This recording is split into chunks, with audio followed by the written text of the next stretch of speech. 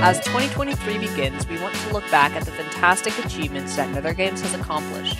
For starters, we're celebrating our 7th anniversary. Throughout these seven years, we've experienced many different things as a server, including all of our staff members, current and resigned. We're always looking forward to the new things that have yet to come.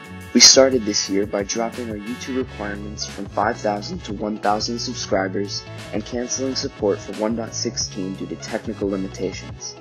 However, in light of that, we announced the new Conquest game mode. In February and March, some new changes came to light. We started on 1.18.1 and released 52 maps spread over Bed Wars, Conquests, Sky Wars, Duels, Murder Mystery, and The Bridge.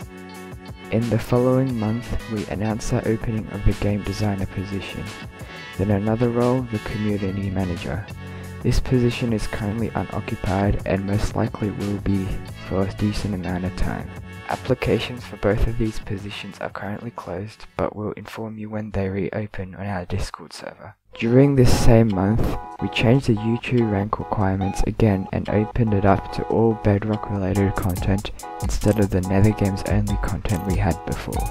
Next, after a long wait, the newest and biggest lobby we've ever created was released. This lobby included zone exploration, mini games, and an unlockable elytra.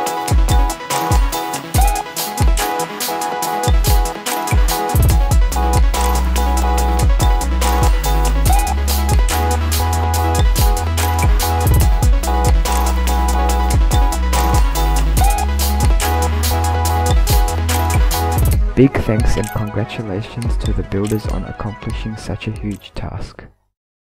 We're now in July, and all credits were reset back to zero as a part of our annual credit reset. Along with this, we introduced our new store. This store saved payment methods for future purchases, introduced a gifting system, stats transfer and reset keys, and the ability to manage your Titan rank subscription.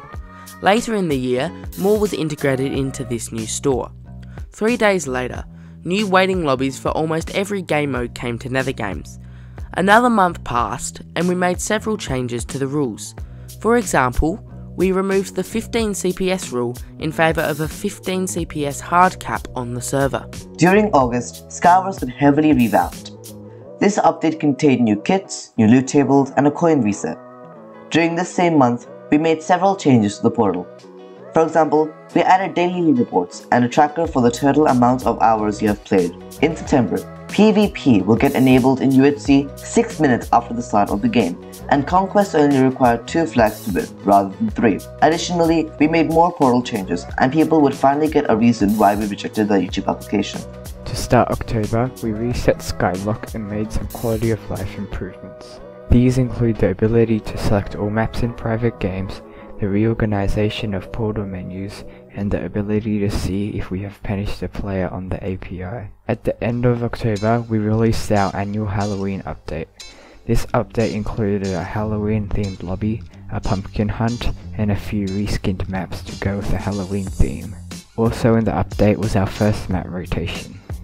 To top it all off, if you purchased anything in the store that month, you would have gained a witch shopkeeper for Bed Wars and Conquests. In November, our Cyber Monday slash Black Friday sale went live.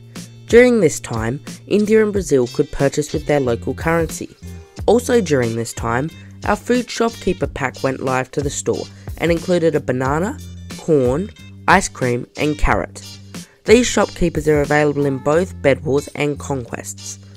We also made some other minor portal changes in game, such as touch players being able to throw fireballs by tapping on the air, and we replaced all pink team blocks in Bed Wars and Sky Wars from magenta to pink. Finally, it was December.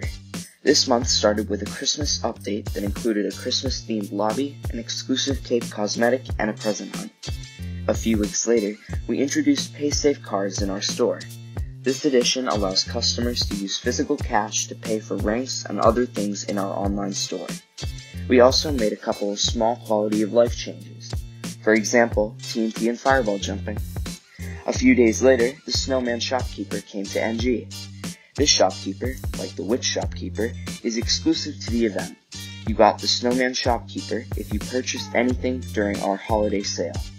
And that is our year over.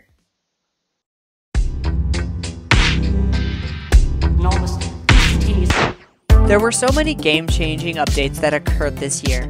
They were all diverse and didn't pertain to one thing, from Discord updates to web updates and to even game updates.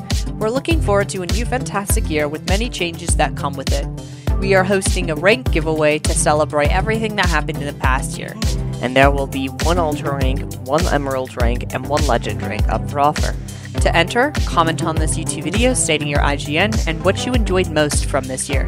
For now, the staff team wishes you all the best for 2023.